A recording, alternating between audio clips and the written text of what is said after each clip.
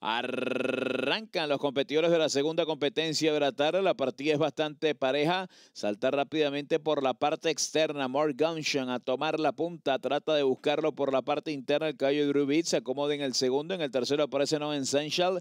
En el cuarto intenta acercarse por la parte interna el ejemplar Señor del Campo. Al lado de él aparece el 6, el ejemplar Love of the Sport. Mientras que el 3, Spoonley, se ha quedado en la última colocación. El 7, Morgan se escapa hasta con 5 cuerpos cuerpos de Drew que está en el segundo puesto. En el tercero por fuera viene apareciendo el ejemplar número 5, No Essential. Hace lo propio por la parte externa Spunley, que pasó al tercer lugar. Se queda en el quinto señor del campo, mientras que Love of the Sport está en el último lugar. 23-3, el primer cuarto de milla. Morgan con Armando Ayuso está adelante. Tres cuerpos de ventaja sobre Drew Vick, que está en el segundo.